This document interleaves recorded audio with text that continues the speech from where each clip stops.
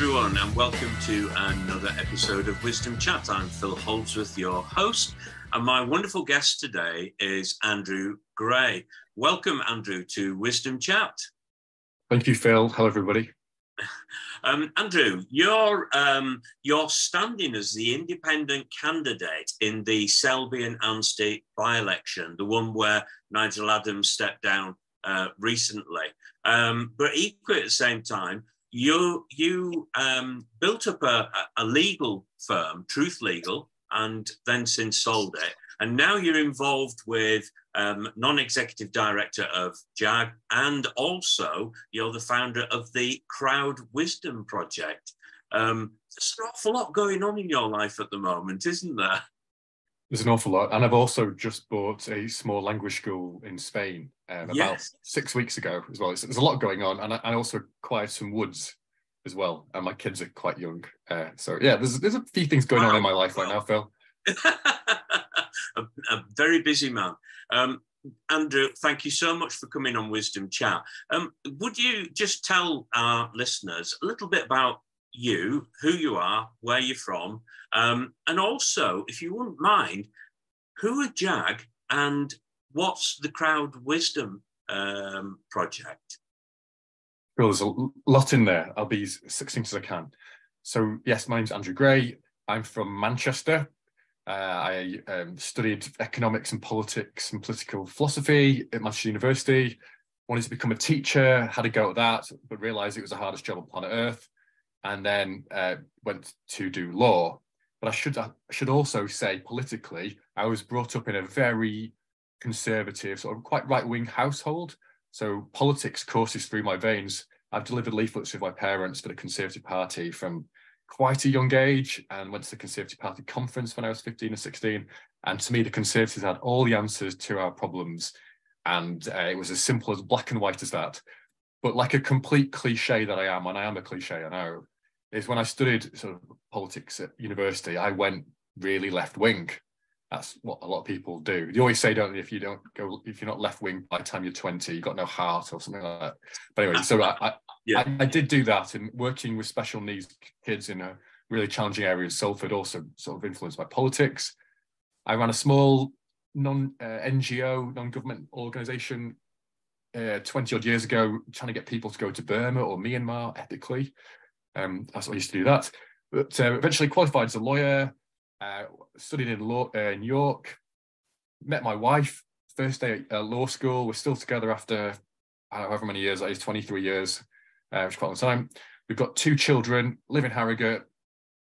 Yeah, yeah that's about me. I've got. Uh, I'm a Quaker as well. That's, that's quite core to who I am as a as an individual. Yeah, and I suppose um, uh, that really informs your sort of values, your your your your, your yes. beliefs, and your approach to I suppose many of the issues we're facing in society today. Yes. Um, so just tell me a little bit about JAAG. I will. Yeah. Now, so it's spelled J A A G, and it's yeah. the Just Algorithms Action Group. And actually, it was founded by Quakers. It's a non-profit campaigning organisation that was has been concerned for last three years about well AI, artificial intelligence, data and bias within data, their worry has always been is if if you're creating systems based on data that has biases in them, it's going to be very difficult for anyone ever using those uh, the, those algorithms to object to it because they won't know why something's coded. There's a famous scene in Little Britain, the computer says no, and it's a bit like that. You know, how would we know why the computer says no? is it are, are there biases against people bme groups older people uh, people of faith? You you really don't know. So there, needs to be like a kite mark for algorithms and that's why i joined. It was originally quaker created but it's anyone can join it. It's, it's not uh, right. religiously affiliated. Oh right. Okay and I, and I suppose um, when you think about uh, what you've just said about um, how can you trust the data and, and how the algorithm, algorithms have been sort of built and, and so on. Um, and the, um, I suppose, the embedding of, uh, of biases in yes. that uh, data, it would cause people to be quite concerned about uh, those things. uh, is the information that's coming back um, the right kind of information, or is it, you know, according to one perspective? And, and how do we know that? I think, you know, you, you've hit the, the nail on the head uh, with that point. That just reminded me of, you know, people perhaps having those conspiracy theories of, yes. you know, how things are being used. Um, so it, I suppose it can cause quite a lot of anxiety and, and fears and concerns uh, about where things are going. So, if, if I may, we'll, we'll come back to that in a moment because there's a very good segue into what you're doing in the by election. But in the meantime, Crowd Wisdom Project, tell me a little bit about that. Yes. So, I, as I said, I was in the Conservative Party as an activist growing up. Then I was in a Labour Party activist and then I'd had a, some time with Liberal Democrats. In all of those parties, it's very tribal and people are knocking lumps out of each other all the time, even though people in those parties simply want to make their countries or their local area just better. But it becomes partisan. It's like a football match being in, in those things. And I, I don't want any part of this hostility. I admire anyone who goes into those parties and uh, stands for election, perhaps with the exception of the extreme far right. But more or less everybody else is a is a good egg. So um, during the pandemic, uh, I was thinking about whether there ought to be like another party in the UK, like a tech party, where it responded to what people wanted. And I eventually came to the conclusion that I should form a non-profit called the Crowd Wisdom Project. And I actually set it up on my birthday as a birthday present to myself. Like some people like cars and holidays or whatever's their uh, fascination for you, money, I guess, and understanding that. For me, it was always is politics. And I thought, well, if there's no party that fits me, you know, how do I engage in politics in a sort of entrepreneurial way? So I set up this non-profit, and, and I've been using this artificial intelligence system called Polis this last two and a half years. I've used it in my own law firm. I've used it uh, in my Quaker group. I've also used it for, in, for councils such as Wandsworth Council, Cheshire East, uh, Chelsea and Kensington, what have you. What it does is, and I should say it's it's from America. This this this technology, and it's ten years old. Is it's it finds where people agree, analyzes their own sentiment anonymously, and shows everybody where everybody is on a map, and find, builds consensus. So it's not looking for majority; it's looking for consensus. It's intelligent. It's informative. It's mm. it's addictive as well, Phil. If you ever go on one. I've never actually seen it, but I'm interested in the fact that um, you standing uh, in the by-election for uh, Selby and Ainsty um, as the AI candidate. So I suppose all this really links together, doesn't it? Yes. Um, so tell me a little bit about how that will work for the constituents of Selby and Ainsty. Okay, well, it's an unusual constituency in that it, it is geographically massive and takes in uh, basically south of Harrogate, all the way over to York, down into Tadcaster, Selby, Drax, and round into Wakefield. It is huge. There isn't like one identity. People wouldn't even know that they were even in that constituency. They might say, I live in Tadcaster, but you, you wouldn't say I live in Selby and. So there's lots of villages, lots of towns here, no absolute uh, one identity. What I'm doing is I'm running a AI or Polis conversation about national pol- political issues throughout the whole constituency to find out where people agree, what the consensus is. But I'm also doing it on a local level per each mm. village and town. And again, the information is utterly is transparent. Everybody can see where they're at. All the other candidates can use it. The media can use it. Councillors can use it. There's no downside for engaging in, in this process. What I'm saying to people is that my manifesto is going to come from the results. So I don't know what it's going to be. So I have no platform other than I'm going to listen to people. If I'm elected to parliament, which would be the mo- biggest political earthquake possibly ever, like an independent using AI comes along at this time and, and wins, if it was, it would change British politics forever because every MP would have to start listening to their constituents and doing essentially what they're told to do. And if I may, Phil, as well, as a lawyer, um, the, the lawyer client relationship is one of the easiest relationships you could ever have. It's very simple. The lawyer has a code of ethics to look after the client. the client goes to the lawyer, you're the expert, you know, show me how you navigate the legal system. And the lawyer, um, you know, takes their instructions. And every time the situation changes, the lawyer says, this is the new situation. Uh, dear client, what do you want me to do? You are the boss of it. And that's me as a representative. To me, that's how MPs should be as well, like frequently returning to the people, particularly when the world is going as fast as it is right now. Yeah. It's, uh, I mean, yeah, we, we, mentioned earlier about the fact that um, perhaps the whole sort of political landscape needs a bit of a shake-up because we've had yes. um, lots of um, things going on from uh, MP behaviours to decisions being made that are affecting large swathes of the population uh, and putting people in in great difficulty. And I think there's um, there were some figures just recently. Let me refer, refer to them. Um, 93% of the population within North Yorkshire, so that part of your constituency that sits within North Yorkshire, um, I've seen a, a, a, huge rise in their cost of living. And, and get this 2.5 million renters saw 45% increase in their rent since April 2022. I think there's a perhaps there's a growing voice that says we we need a change. Something needs to change. Something needs to give to give us hope moving forward. And I suppose your approach is is trying to tackle that change. And like you were saying, um, this is going to be uh, if you succeed, this could be the biggest shake-up um, in the political realm um, we've seen. Um, well, however long. Um, now, it, in terms of engaging with your constituents, um, so you're using the AI conversation to gain consensus, and then that would inform your manifesto um, and give you that platform. Um, and that, personally, I like what you said about the fact that you're there to represent the people. I think we need to remind politicians that's why we vote them in. Precisely. um, yeah.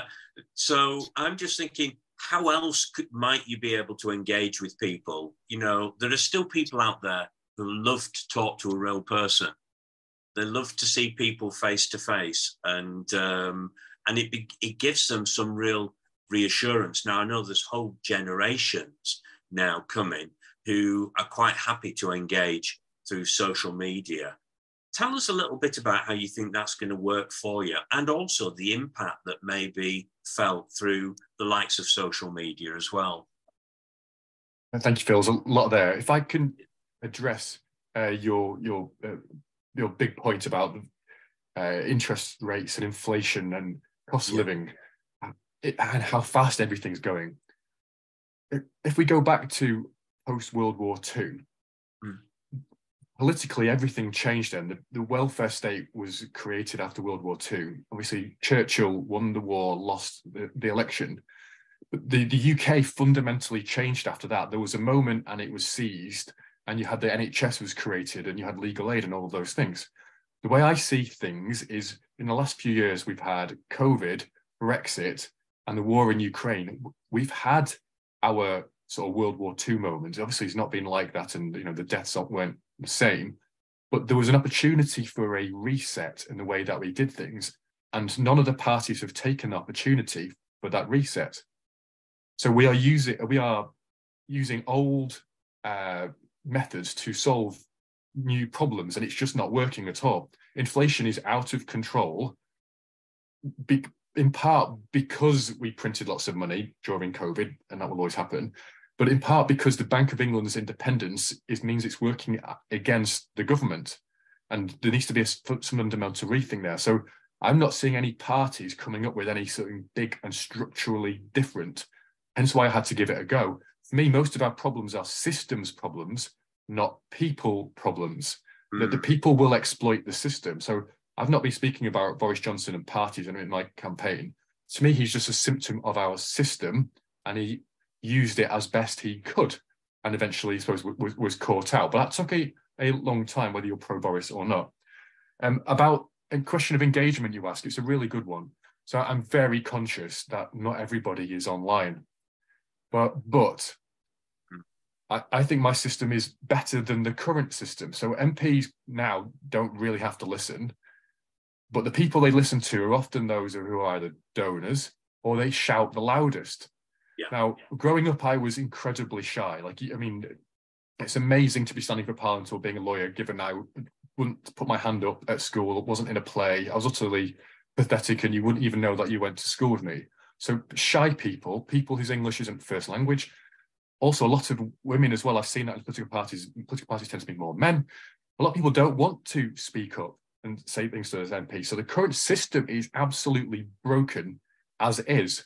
But you're right to hint at, well, not everybody's online, not everybody wants to vote, etc. And I, you're right. So if I was elected, I would do need to work with that digital divide. But again, though, let me say, people have seen that the banks are now have closed in their area. Whatever age you are, you're having to do your banking online. You can move thousands of pounds online. If you're buying a house online, but you can't vote online, you can't influence your MP online. To me, there's a massive disconnect between yeah. people's real experience of life and how our politics is being done. And I think your your third point, I've, I've sorry, I've, I've, lost it. Is oh, social media. Oh, yes. Well, yeah. Social media, Phil, is, uh, is a thoroughly unpleasant place to be. Um, you know, if you raise your head above the parapet, people are going to start taking lumps out of you, and it's horrible. I I don't like being on there. Um, I've not enjoyed it this last few weeks, but it's only the only ways you can get your message out. We must remember that uh, back to algorithms, social media is just an algorithm. The cleverest people on planet Earth, these incredible psychologists and coders, have worked to try to get our eyeballs onto the social media platforms. And one of the best ways to do it is to pour petrol onto disputes to keep people there to sell more ads. Genius if you think about it. And, and the national media does exactly the same. When you use Polis, though, and I didn't create Polis, it's anonymous. And in the two and a half years that I've been using it, and I've seen thousands of statements and quarter of a million votes, I think I've seen two unpleasant things written in that time. It's astonishing. We are far nicer. We get on a long, much more than the social media or, or the media suggests. And I want to tell everybody that. I want to be positive and optimistic. Yeah, I suppose what you're saying there is the fact that the focus of attention is not on disagreeing. Um, the focus of attention on is is finding those things that people do agree on, yes. and, and actually letting them know that you know, guys, there's more that we perhaps agree on than you realise, and so we're taking a different mindset, different approach. I take your point about social media and um, and media in general. Um, one of the things from a psychological point of view, uh, we as human beings um, need to know if something's happening. We need to know if there's a threat, where is that threat coming from? Yes. So that's why bad news sells so well because we're constantly looking at um, what do I need to be aware of so I can react to it, I can respond to it, and um, and yet you know that hearing good news um, and positive things actually is really good for our well-being and and, uh, and our development. Whereas the negative side, all that does is stimulate the um, the cortisol and adrenaline, which cardiovascularly has um, a very serious impact over an extended period of time. So if we're always constantly anxious about things, then the, the dangers we're, we're creating are poor health, poor mental health, um, you know, which then puts a burden on the NHS. One of the services that you you mentioned after the war in terms of welfare state, NHS, these were good things, and people celebrated them when they, they were first set up. But but now we're putting so much strain on them, and we're not um, improving that strain. We're, we're adding to it by the way that we use certain things like social media and so on. I've, I've got to admit, I know what it feels like to be um, attacked on social media because I've been on the receiving end of it, and it's very, very unpleasant. And we call them keyboard warriors um, because people feel that they can say whatever they want without any consideration for the impact of what they're saying um, or whether they care about the impact. Um, so it is it is very challenging. I think more in the political circles, as you rightly say, you know, um, we're using um, old methods, old systems, outdated things to deal with modern day issues, and it's not working. And I suppose it could be the same said about the, the legal system. When you look at some of the laws and when they were originally created, and they were created to tackle something in their time, and we're still trying to apply them today in the modern world, and there's a disparity there. Um, I just think, how how do you feel um, about um, your approach and uh, the kind of impact that you might have, given the fact that I think it's somewhere in the region of about 11 million people who, at this moment in time, um, don't necessarily have access to the internet uh, for all manner of reasons. And so there's still a body of people who, as you rightly said, wouldn't be able to engage in that way. But what kind of things do you think that you might be able to do um, that A shakes the system up a bit? Um, uh, you're, you're being quite innovative in terms of the AI candidacy, but uh, what other ways? Have you had any thoughts about how you might be able to do that? There's a lot in there. Let me try and pick it if I may. Having been in lots of political parties and brought up that way with my with my parents, the standard way of campaigning is leaflets or knocking on doors and canvassing. And yeah. the canvassing conversation, if anyone's ever been through it, is knock on the door when usually you're doing something because they know you're in. So you, you, you know you're getting interrupted someone say, hello, I'm here from whatever the name of the party is. Can I ask you, are you going to vote at the next election? That's quite a rude question. And then they follow it up as, are you going to vote for insert name of the party at the next election? Now, in terms of sort of data uh, privacy, you know, as a lawyer, I think of sort of privacy matters. The most personal information you can ever ask someone is their health matters. The yeah. second most is actually their political. So someone's knocking on your door and asking you basically the second most impolite question that they could ask you. And we regard it as normal. It is not normal. It is incredibly intrusive, actually. And I don't really want to get in, involved in any of that. I'd rather people came to me, like I had ran a stall in an area and said, come and talk to me. I'm here in the library. I'd like yeah. to do all that. In this um, campaign, though, it's a like three and a half week window I didn't know it was going to happen. I was already doing lots of other things. You have to suddenly print 50,000 leaflets, create them, follow electoral law, law, deal with donors, social media. There's, there's an awful lot to do. You can't get around an area this fast. So I like the idea of halls and hustings and online hustings. In fact, I want to write, engage with every religious um, uh, group in uh, Selby and. So I'm trying to write to the churches to say, I'm very happy to to Zoom with people in fact, mm. in a, week, week's time, I'll be one of the schools in York as well, talking to their, their, their the children there. Notice they can't vote because I, I, want to talk to them. I want to show them that there is another way and that we can be positive. So I'm, I'm, i want, I want to get into with children. But if though I was elected, I would have to come up with a better system than what I've got now because it is imperfect and it is flawed. And I suppose it is actually hackable as well. So I would have to create something that's never been done before, where you know uh, people in the area maybe upload their ID to prove that they live there, and we need to be able to email people, etc. But also there needs to be like iPads in village halls where people can engage and complain and etc. etc. So I'd have to innovate and come up with something new, but I'd want to work with the people to come up with that system. Yeah. Um, and I, am sure I can be forgiven for not having all the answers to that, but all I'm saying is I am going to listen and I am going to represent even though the listening tool is not perfect. It's it's um, just I want to pick up on that point that you just said about um, being forgiven for not having all the answers, um, and it's interesting. The, the the politicians I've spoken to, sometimes there is a feeling that they are supposed to have all the answers, but actually none of us do. And the whole thing about engaging with the people is to take the people with you.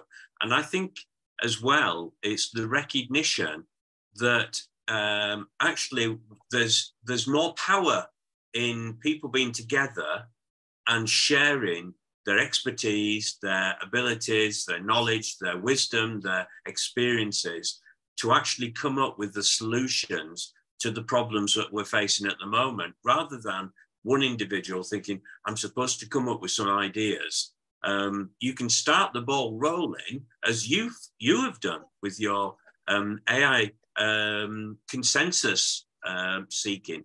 Um, but at the end of the day, there's a limit, isn't there? And I, and I like what you're saying about the fact that um, it's important then that you talk to the people and find out what do they think. Now, some people will probably come up with some, you know, um, dare I say, wacky ideas.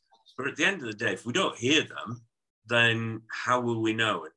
Uh, and actually, somebody might come up with what they think is a wacky idea, and it could be actually a great solution moving forward. I, I, agree, Phil. You're you're absolutely right. Can I tell your listeners about one of the uh, consensuses we found in Harrogate? So I, I, live in Harrogate. I have a particular interest in road traffic accidents. My my friend was killed on the roads years ago, and I was run over and luckily survived, and etc. Um, when I've I've run a Polis conversation on behalf of 20s Plenty here in Harrogate. Now, 20s Plenty believe that there ought to be a default speed limit of 20 miles an hour. Now, the way I run these conversations is non-party political. My own persuasions do not come in at all into how these things are run. Even though I am sympathetic to this cause, it doesn't matter. So in about two weeks in Harrogate, we had 14,000 votes from the people of Harrogate about the question of should there be a default speed limit the people created hundreds of ideas and then people were voting on these ideas, hence to get to 14,000 votes from a voters of 450 odd votes, voters. Now, the three consensus points we found were these that irrespective of whether you are a Jeremy Clarkson type and you believe you should be able to drive as fast as you want, as noisily as you want, autobahn style on one side, or if you're on the other side, as you believe that we should go back to an agrarian society and you know all cars should be you know uh, recycled and never used again. Wherever you were on that line what what everybody more or less agreed with is that outside schools in Harrogate it should be 20 miles an hour outside schools. How sensible is that? And it hasn't been deployed by any of the parties and that really annoyed me because it's still in the news now and some children have been run over at going yeah. to school over 20 miles an hour and been seriously injured when the people are saying this is what we want. It's, and that's dead easy to do. A second consensus point that we found was that people uh, regardless of where you were on the you know the you know cars etc people like those flashing signs when they go to a village that tells them whether they're going too fast or too slow. They like that but yet there are hardly any around harrogate area. And i was so narked by this poor governance that i've seen. I thought well this is another reason why i have to have a, have, have a go at this. It can be done people have got the solutions to their own problems. There's so much wisdom, particularly at a local level. Yeah, I, I agree with you, and I think um, you know it's it's heartening to hear what you've just explained to us all um, in terms of how you've gathered that consensus and the response. For was it what did you say? Fourteen thousand responses. Fourteen thousand votes. Fourteen thousand votes. Votes of from 450 odd people. So people vote a number of times. Right. In, in Wandsworth recently, Phil, um, the people of Wandsworth came up with 600 ideas about clean air, and the average person in Wandsworth who voted voted 98 times on the platform. Now, I can't imagine ever having filled in any survey where you got anywhere near 98 as an average. So some yes. people were voting on 400 ideas. Now, when you've read 400 ideas, your mind has altered. You have seen an argument from every single ang- angle and then thought, oh, no one's thought of this idea. And then somebody writes that down and the wisdom comes out. I mean, interesting. I run the Crowd Wisdom Project. You run the Wisdom Chat. We like wisdom. We don't profess that we have all of it or even none of it. We just know that we'd like to find it and it is there. And that's what I'm trying to do. Yeah, and I think it's brilliant. And that, and like you, I I believe um, you know, people have something to say and something to contribute. And it's a great pleasure of mine talking to so many varied people from different um, sectors of industry and commerce and even the political system. And so um, that is a privilege. But I think at the same time, if we spend more time sort of uh, listening to uh, many people and seeing what they've got to contribute, we'd actually come up with some really remarkable ideas solving some of the um, you know like for example the the speed limit you talk about or the air pollution you know solving some of these issues that we really want to deal with um, to make life better for us as a society. So I'm, I'm conscious that time has passed us by, Andrew, but um, is there anything that you'd like to say to our listeners in, in closing? And also, how could they get hold of you if they wanted to chat with you or engage with you in some way? Thank you. Um, thank you for having me on this podcast. I've thoroughly enjoyed it. I knew I would. In terms of getting in touch with me, I have a website with vast amounts of information on it. Uh, it's andrew-gray.org. And I've been blogging about politics for like 10 years. So all my blogs are on there. You know, my, my own development as a person from right wing, left wing, liberal Democrat is, is all on there for everybody to see. I'm, I'm bearing all. Um, but the final message though, I would say if, uh, to your listeners is always try to step back from the situation that they're in and, and think about the system that they're in and ask themselves, is this a sensible system actually at work? Why do we do it this way? Why do we do it this way in our family? Why do we have meal times? Like really, you know, almost start from a, a, a you know, fresh piece of paper, ask themselves some profound questions and you'll make some rapid changes to your life. Yeah, I, am a great one for asking why. I'm always asking why. You know, people make a statement and I'll go, but why? so, um, um, and one of those right now is why do we have to finish now? Well, we, we've run out of time. But uh, Andrew, thank you so much for your valuable time. It's been great talking to you. I know we could have talked to the cows come home, um, but thank you very much. And uh, I wish you all the best in the by election. That's on the is it the 20th of July? That's correct. Yes. Yes. So uh, we we sort of wait with bated breath to see how that works out. So all the very best. Thank you, Phil.